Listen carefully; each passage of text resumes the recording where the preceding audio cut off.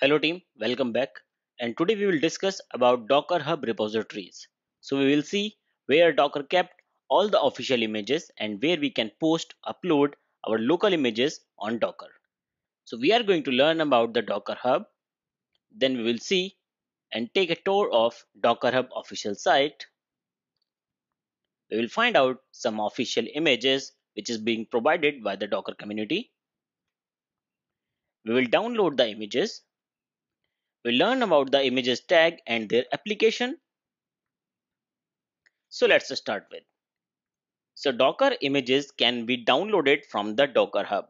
So in the last lecture we have seen we have a few images on a machine when we which we will download it when we was executing docker run command. So, so basically these images was basically downloaded from the Docker Hub. Image is something which can be committed with changes and have multiple versions. So if you don't have a specific version number, then the client defaults to the latest. So we have seen the tag was latest in some kind, the tag was alpine in some other way, the tag was some different. So basically we can also push the image on the Docker Hub. And if we are not defining a specific version to our image, then by default Docker takes the default as a latest. Now first we will discuss about the Docker images differentiation. So very first we'll talk about the base image. So base image is the type of image that have no parent image. So usually the images like the operating system, Ubuntu, BusyBox, Debian, these are the base images and base images is basically uh, a big image in a size, right? Now second version of image is called the child image. So child image is something which is built on base image and providing some additional functionality right? So suppose you have ubuntu base image then you have another image which is which is basically using the ubuntu images but they are providing their own functionality. They are providing some uh, interactive cli they are providing some interactive colors right? So these are called the child images. The third type and important type of the images is official image. So images that are officially maintained and supported by the Docker community are called the official images. These are typically one word images. The next category comes user images. So these are the images which is basically belongs to the user like you and me. The images which belongs to some specific organization. So these images are being created and shared by the users and they build on base image and additional functionality Typically, these are formatted as user slash image name. So we will see the different different images. We will see uh, the image name, how the official image uh, display inside the Docker Hub and how the user's image display inside the Docker Hub. Now let's take a tour of dockerhub.com. So you need to go to Google.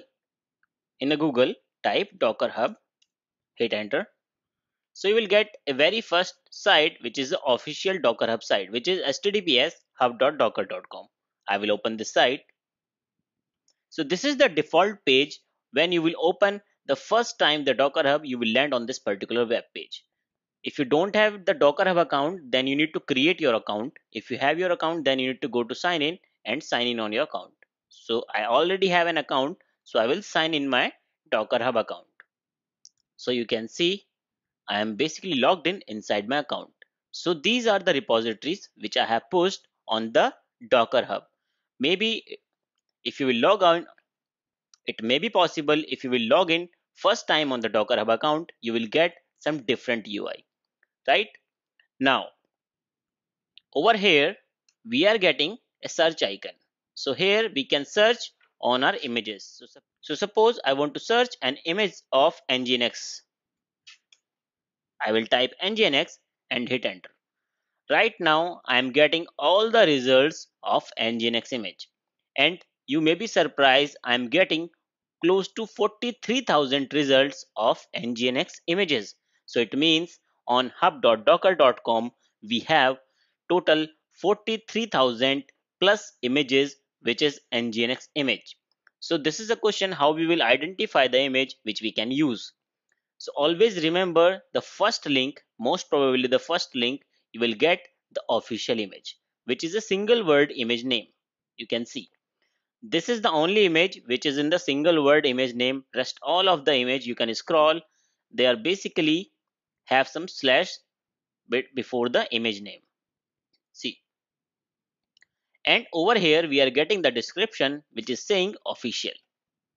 This is another image which is jwilder nginx proxy and over here it is getting public and automated build so it has the description as well but we are getting only one image which is the official image.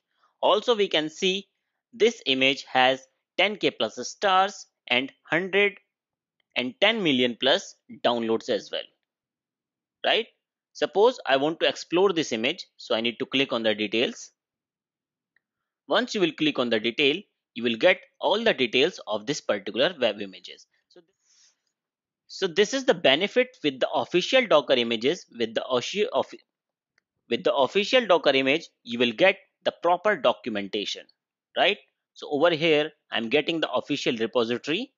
Repository name is nginx and here is the star. If you will click this star then you basically marking this image is helpful right? Over here we are getting different different tags and the repo info.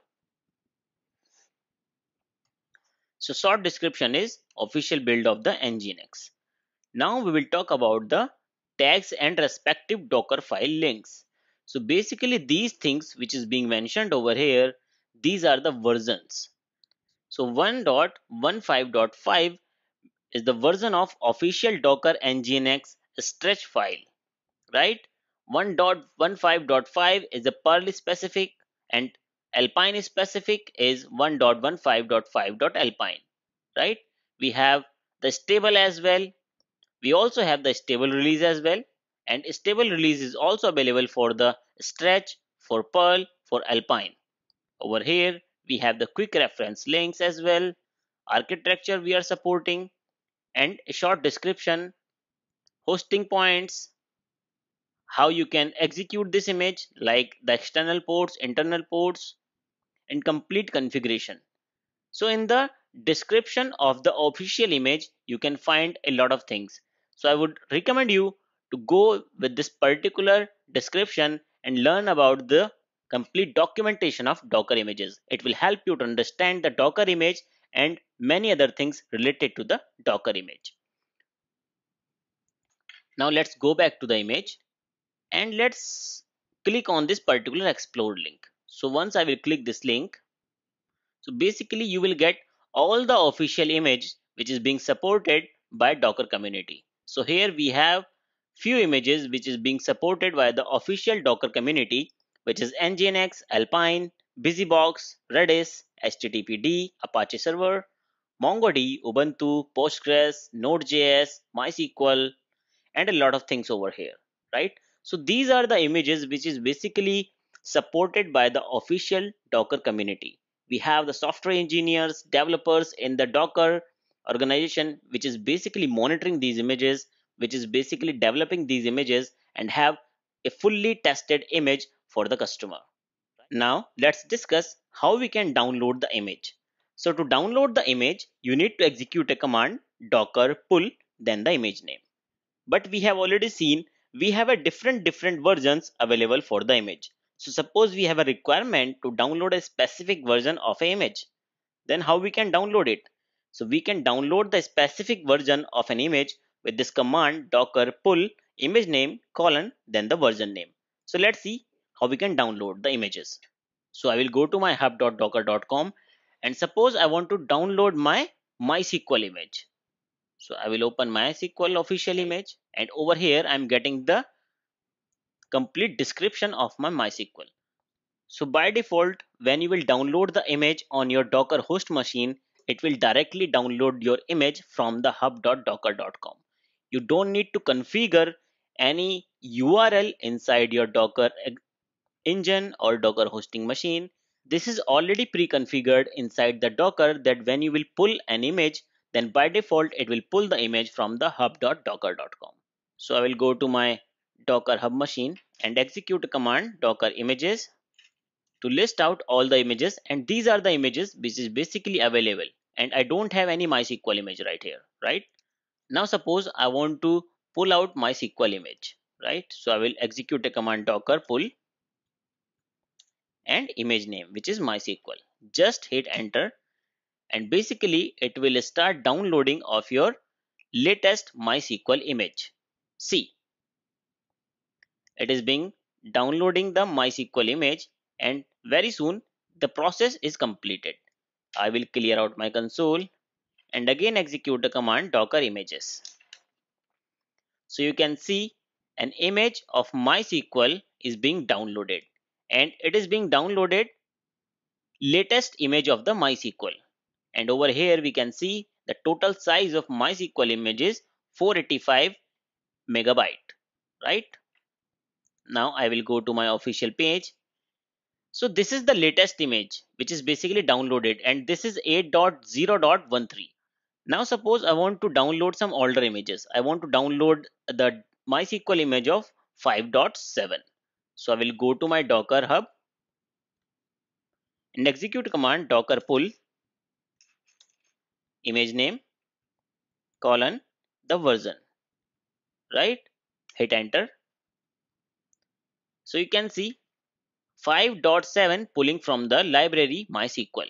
So it is basically downloading the 5.7 and it's done. If I will clear out my console and again execute the command docker images. So we can see I have two repositories or two images of MySQL one is latest and another is 5.7 and we have a pretty much difference in the size of both images right so this is the way how you can download the image from the official docker hub site right so Docker Hub is just like a GitHub where you can basically put your images and you can download or check out the images.